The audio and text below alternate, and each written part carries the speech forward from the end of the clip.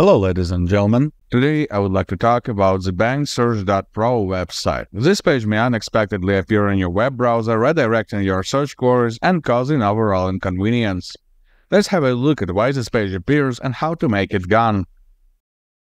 So the basics. Bangsearch.pro is a website associated with browser hijackers, malicious programs that bring profit to their developers by throwing victims on unwanted websites. The ones that particularly cause the Bangsearch.pro site to appear are known for attacking specifically Google Chrome and Chromium-based browsers. Such malware literally possesses your browser, making it impossible for you to control its behavior.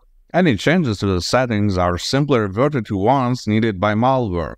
Reinstalling or resetting the browser will end up with malware infecting it once again. Redirection through unknown websites like bangsearch.pro is just the most visible symptom.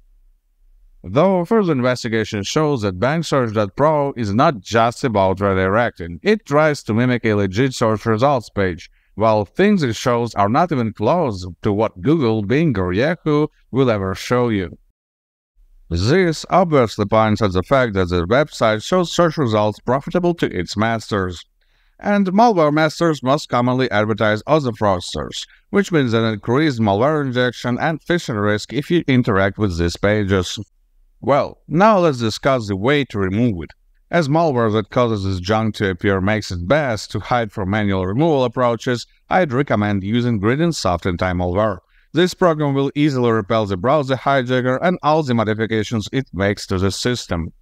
In this case, standard scan will be enough. It takes around 5 minutes and scans all the disk volumes, including hidden folders and registry. Let's give it some time to finish. Then, when the scan is over, click Clean Now to get rid of all the detected items. In my case, it was not just the browser hijacker that caused the bangsearch.pro to appear, but also an adware. Now the system is clean. Good luck and stay safe online.